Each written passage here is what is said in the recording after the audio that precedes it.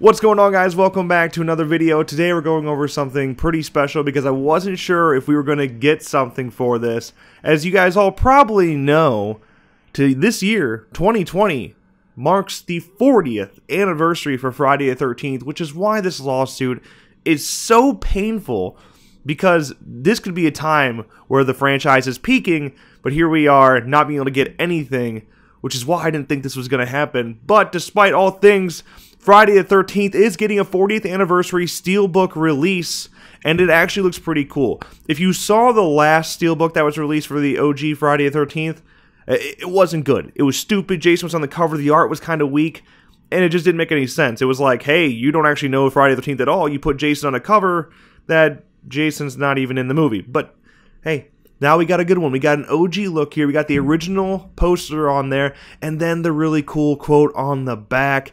I mean, I think it looks pretty nice. So, overall, it looks decent, but I do have some major issues with it. One, there's nothing different about it. There's nothing special here, no cool new behind the scenes features, etc., etc. My biggest gripe with it, my biggest issue, it's not in 4K. Why not have a 4K release? Now's the time. 40th anniversary 4K release would have been great. But here we are, still sticking with our regular 1080p edition which we've already had before. So if you already had the movie and you're not a big collector, this obviously isn't for you. There's no point in rebuying the movie. You're not getting anything new new with it. No new special features, no new commentaries, nothing like that. And you're not getting a 4K jump. So basically, this is for people like me and probably a lot of you that just collect Friday the 13th things because we love it so much and we have completion issues. That's what us horror fans do. We waste money on shit we don't need. And this is definitely one of those things that I'm going to waste money on that I definitely don't need. But I'm excited for it. comes out on May 5th of this year, 40th anniversary edition. It's only 15 bucks. I will say that. That's nice. They could have easily dropped 30 bucks in this thing and we still would have bought it because that's what we do. But this one's only 15 bucks and I appreciate that. I also totally know that right now there's like a good half of you that are like, "Hey, how are they able to release this with the lawsuit? Why can't they release game content? Where are the NECA figures?"